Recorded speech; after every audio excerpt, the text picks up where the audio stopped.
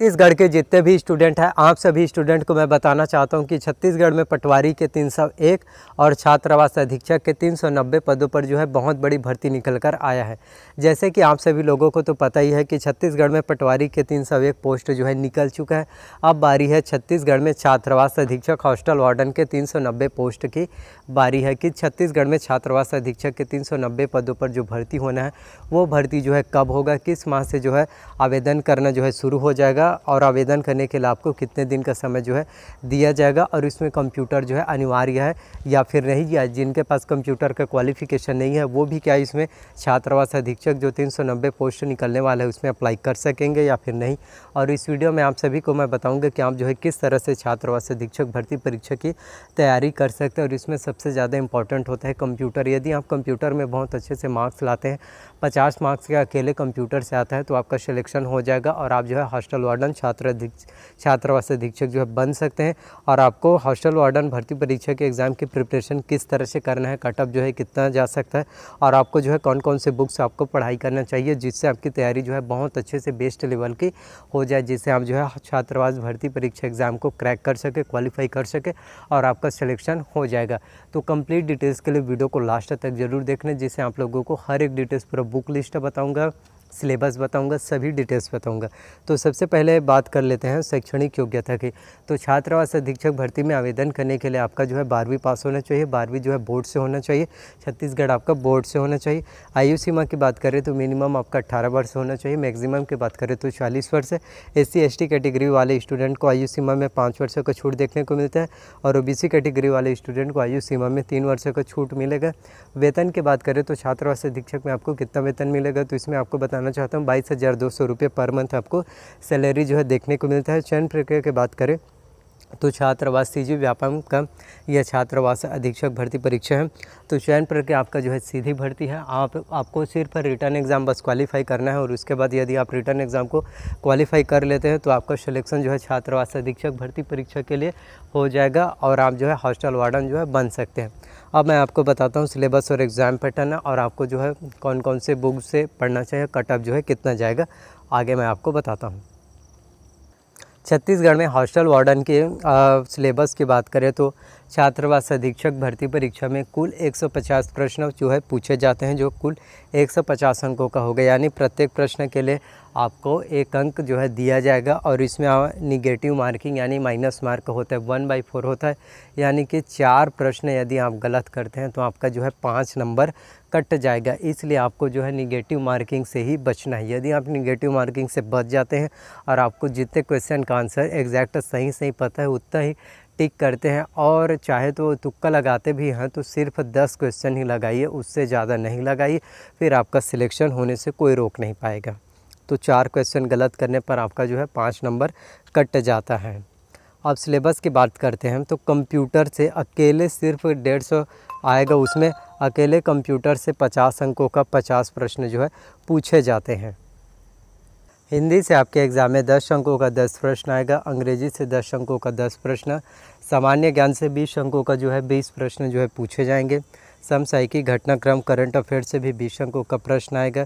छत्तीसगढ़ की सामान्य जानकारी से बीस अंकों का बीस प्रश्न और गणित से बीस अंकों का बीस प्रश्न जो है पूछे जाएँगे। तो कुल इस तरह से 150 प्रश्न जो है आपके छात्रावास अधीक्षक भर्ती परीक्षा में पूछे जाते हैं। अब मैं आपको पूरा डिटेल्स बताता हूँ कि हिंदी में, इंग्लिश में, गणित में कौन कौन से कंप्यूटर में कौन कौन से टॉपिक से आपके एग्ज़ाम में जो है प्रश्न पूछे जाएँगे।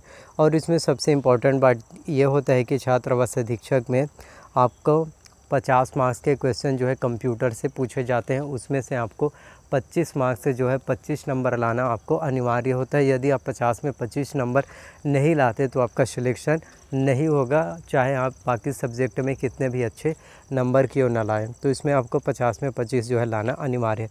तो कंप्यूटर के सिलेबस की बात करें तो इसमें आपका कंप्यूटर का परिचय, कंप्यूटर के उपयोग कंप्यूटर के सामान्य जानकारी, कंप्यूटर के प्रमुख भाग जैसे CPU, input device, output device की जानकारी, प्रिंटर के प्रकार, आपका जैसे ink, jet, laser, jet printer, dot matrix printer, सभी प्रकार के प्रिंटर की जानकारी आपको होना चाहिए। साथ ही आपको ऑपरेटिंग सिस्टम के बारे में एम एस ऑफ़िस में आपको M S Word M S Excel M S PowerPoint M S Access के बारे में जानकारी होना चाहिए। साथ ही internet image search engine web browser shortcut के जैसे कंट्रोल प्लस से control plus Z control plus X control plus J justify करने के लिए कंट्रोल प्लस सी कॉपी करने के लिए कंट्रोल प्लस वी पेस्ट करने के लिए तो शॉर्टकट के आपको जो है पता होना चाहिए। साथ ही फुल फॉर्म पता होना चाहिए, जैसे H T T P hyper transfer protocol और U R L uniform resource locator C P U central processing unit तो इन सभी का फुल फॉर्म आपको पता होना चाहिए। हिंदी की बात करें तो हिंदी में आपका पूरा व्याकरण आएगा, जैसे स्वर, व्यंजन, वर्तनी, वचन, काल, संज्ञा सर्वनाम विशेषण, क्रिया, प्रयोग, समास, रचना एवं प्रकाश, संधि की जानकारी, उपसर्ग एवं प्रत्यय, तत्सम, तद्भव, देशज पर्यावाची विलोमार्थी, विन विन, अनेकार्थी शब्द मुहावरे व लोकोक्तियाँ ये सभी आपके एग्ज़ाम में जो है पूरा हिंदी का व्याकरण आएगा। इंग्लिश की बात करें तो इंग्लिश का पूरा व्याकरण जिसमें आपका noun pronoun tense voice narration conjunction preposition article degree question tag ये आपका इंग्लिश का पूरा ग्रामर आएगा। वहीं सामान्य ज्ञान में आपका पूरा राष्ट्रीय, अंतर्राष्ट्रीय पूरा सामान्य ज्ञान जो है आपके एग्ज़ाम में जो है पूछे जाएँगे खेल कूद के बारे में।